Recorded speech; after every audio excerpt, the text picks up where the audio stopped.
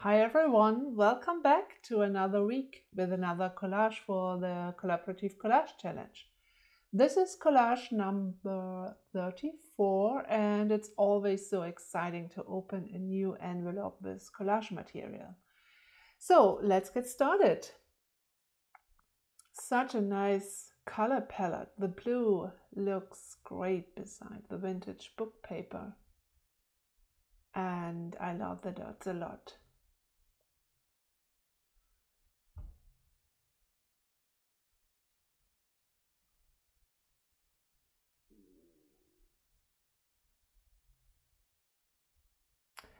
The texture on this piece looks gorgeous. I love all the scribbles, lines and shapes and all these different shapes of blue.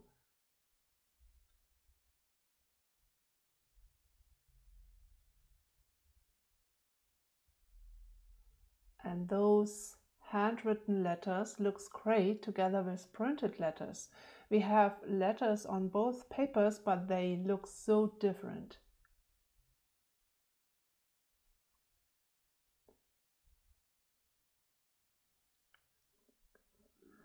I think I need a bit more color here and I like the color of the envelope. The warm yellow color is a great contrast to the blue, cool blue. So let's save these stripes. Maybe I can use them later.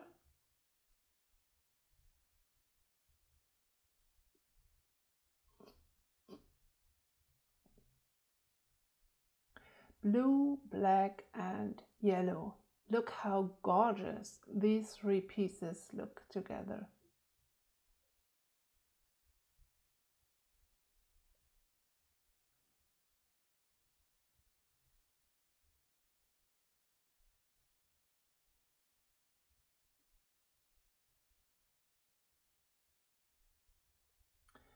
I trim the edges to better see the composition of the collage.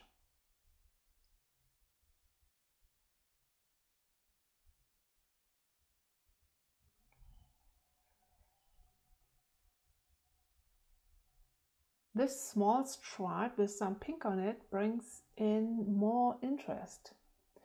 Yellow and pink are such a joyful match and a good contrast to the clear structure of the dots.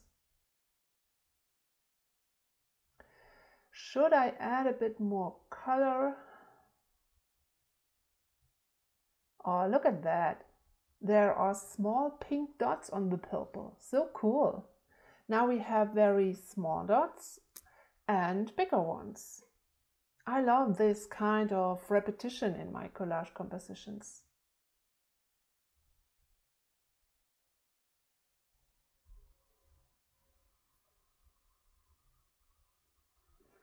So what can I do to make the big yellow stripe a bit more interesting? I add the white piece to, to change the shape of the yellow piece. And I think I need something on the left side of the collage to guide the viewer's eye around. How about this little yellow dot?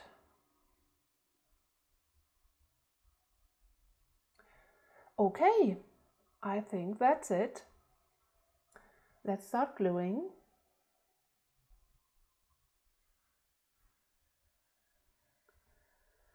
It's such a simple composition, but I like it a lot.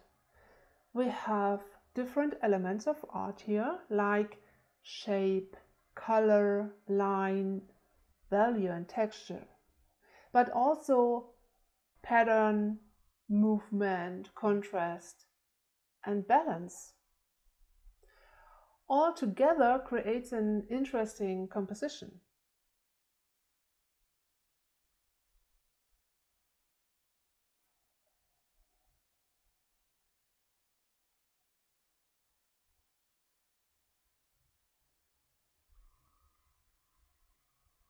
It's a very simple composition, but I like it a lot.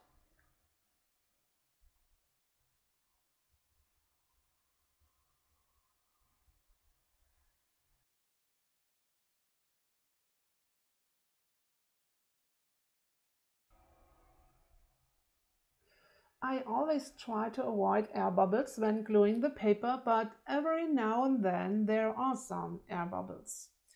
I think I used not enough glue or the paper absorbed all the glue, so I use a, a scalpel and cut the paper, apply some glue and smooth the paper. So now we have a, a smooth surface. I hope you find this helpful and it inspires you to start creating. Use your scraps or paints and create something. Thank you so much for watching. Have fun with your materials and happy creating. Bye bye.